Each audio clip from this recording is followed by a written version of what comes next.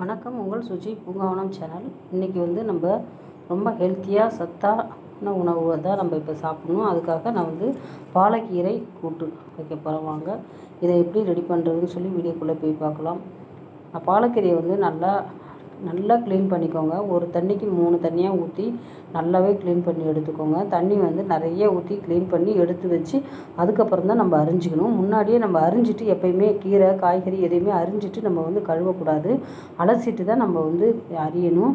நான் வந்து நெய்ஸாக ரொம்பவும் நெய்ஸாக அரிய தேவையில்லை. இதை வேக வச்சு கடையிறதுனால சும்மா ஓரளவுக்கு நீங்கள் அரிஞ்சிக்கிட்டால் போதும். பொரியல்னா தான் உங்களுக்கு நெய்ஸாக குருவை அரியணும். இது வந்து நம்மள சும்மா ஓரளவுக்கு வேகிறதுக்கு நம்மளுக்கு ஈஸியாக இருக்கிறதுக்காக நான் வந்து அரிஞ்சு எடுத்துக்கிறேன். எல்லா பாலக்கீரையும் சேர்த்து நான் அரிஞ்சிடுறேன். உங்களால் முடிஞ்ச அளவுக்கு நீங்கள் அரிஞ்சு எடுத்துக்கலாம். நீங்கள் அப்படியே கூட ரெண்டு ரெண்டாக கூட கட் பண்ணி போட்டுக்கலாம். அதை பற்றி ஒன்றும் இல்லை. ஏன்னா இது வந்து வேக வைக்கிற கீரை தான். நம்ம கீரையை வந்து அரிஞ்சிட்டு எப்பயுமே அலசக்கூடாது. அதில் உள்ள சத்துக்கள் எல்லாமே தண்ணீரோடு போயிடும். நம்ம வந்து நல்லா அலசிட்டு அதுக்கப்புறம் தான் நம்ம வந்து அரியணும். அப்போ தான் வந்து சத்துக்கள் அதே மாதிரி நான் எல்லா கீரையுமே நான் அரிஞ்சு எடுத்துக்கிறேன். பாலக்கீரை வந்து ரொம்பவே உடம்புக்கு ரொம்ப சத்தான ஒரு கீரைங்க. உங்களுக்கு கிடச்சிதுன்னா எவ்வளோ கிடச்சாலும் வாங்கி இதை வந்து மிஸ் பண்ணிடாதீங்க. ரொம்பவே ஹெல்த்தானது இதில் வந்து எல்லா சத்துமே நிறைஞ்சிருக்குது. நான் வந்து ஒரு கத்தை கீரை தான் வாங்கினேன். இதை வந்து நல்லா நெய்ஸாக நம்ம அரிஞ்சு எடுத்துக்கலாம். எல்லா கீரையுமே நான் அரிஞ்சு எடுத்துடுறேன் பருப்பை வந்து ஃபஸ்ட்டே நான் வந்து வேக வச்சுட்டேன். அந்த பருப்பு கூட வந்து வெங்காயம் தக்காளி பூண்டு பச்சை மிளகாய் எல்லாத்தையும் போட்டு நல்லா வேக வச்சுக்கிட்டேன்.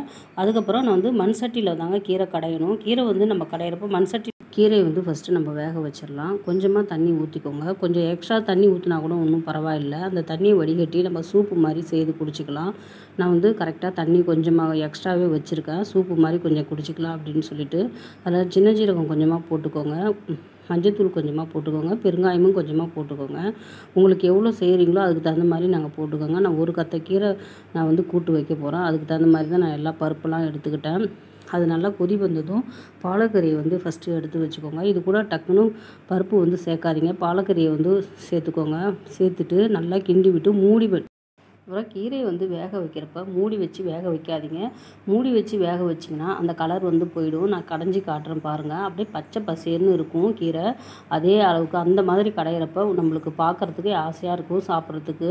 அதனால் நீங்கள் மூடி வச்சு க வேக வைக்காதீங்க. நீங்கள் மூடி வச்சு வேக வைக்காமல் பாருங்கள் நான் எந்த அளவுக்கு எப்படி வேக வைக்கிறேன்னு பாருங்கள் அதே மாதிரி நீங்களும் வேக வச்சுக்கோங்க. சரிங்களா?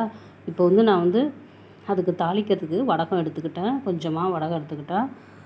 வடகம் இருந்தால் வடகம் போட்டு தாளிங்க. வ வடகம் போட்டு தாளித்தா நல்லா வாசனையாக நல்லாயிருக்கும் கீரை வெந்துருச்சான்னு பார்க்குறேன் வெந்துருச்சு நல்லா. இப்போ இதை வந்து தண்ணியை வந்து வடிகட்டிட்டு இதை வந்து நம்ம எடுத்து கடைஞ்சிக்கணும். நல்லா நெய்ஸாக கடைஞ்சிக்கோங்க. அப்புறம் வேக வச்சு எடுத்து வச்சுருக்கோம் பருப்பு. அதை வந்து இது கூட சேர்த்துக்கணும்.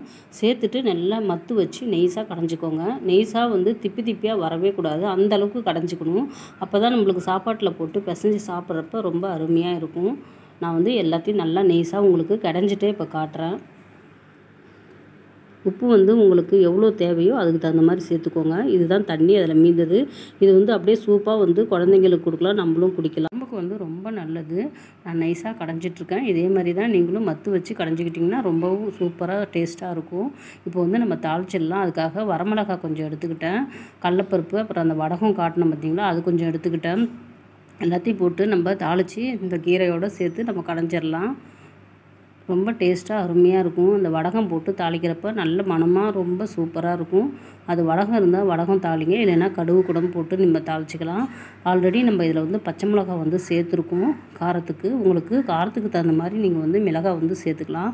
நான் வரமிளகாவும் சேர்த்துக்கிட்டேன் நல்லா வாசனைக்காக. இதை வந்து நல்லா நெய்ஸாக கடைஞ்சி இது எப்படி இருக்குன்னு சொல்லிட்டு உங்களுக்கு நான் காட்டுறேன். கண்டிப்பாக இந்த வீடியோ வந்து உங்களுக்கு ரொம்ப யூஸ்ஃபுல்லாக இருக்கும்னு நினைக்கிறேன். நீங்களும் பாலக்கீரை கிடச்சதுன்னா விடாதீங்க. வாங்கி செய்து சாப்பிட்டு பாருங்கள் கூட்டு வச்சு சாப்பிட்டு பார்த்துட்டு கமெண்ட் பாக்ஸில் வந்து கமெண்ட் பண்ணுங்கள் உங்கள் ஃப்ரெண்ட்ஸுங்க எல்லாருக்குமே நீங்கள் ஷேர் பண்ணுங்கள் லைக் பண்ணுங்கள் சப்ஸ்கிரைப் பண்ணி வச்சுக்கோங்க. பெல்லைக்கானையும் கிளிக் பண்ணிட்டீங்கன்னா என்னோடய வீடியோஸ் வந்து உடனுக்குடனே உங்களுக்கு நோட்டிஃபிகேஷனாக வருங்க. தாளித்து அதில் விட்டுட்டேன். விட்டுட்டு அதுக்கப்புறமும் நம்ம நல்லா நெய்ஸாக கடைஞ்சிக்கணும். சுட சுட சாப்பாட்டில் போட்டு இதை வந்து நெய் ஊற்றி நம்ம சாப்பிட்றப்போ ரொம்ப அருமையாக சூப்பராக இருக்கும். நீங்கள் வந்து நெய் சேர்த்துக்க பிடிக்காதவங்க பரவாயில்ல.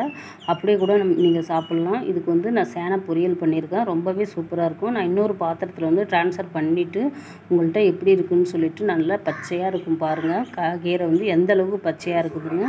அதே மாதிரி நீங்களும் கடைஞ்சிக்கோங்க பாருங்கள் ரொம்ப அருமையாக சூப்பராக பாலக்கீரை வந்து கூட்டு வந்து பாசிப்பருப்பு போட்டு ரெடி பண்ணிட்டேன். ரொம்பவே டேஸ்ட்டாக சூப்பரான ஒரு பாலக்கீரை கூட்டு உங்களுக்கு பிடிச்சிருக்கும் அப்படின்னு நான் நினைக்கிறேன். நீங்களும் ஒரு தாட்டி ட்ரை பண்ணி பாருங்கள் பார்த்துட்டு கமெண்ட் பாக்ஸில் வந்து கமெண்ட் பண்ணுங்கள் தேங்க்யூ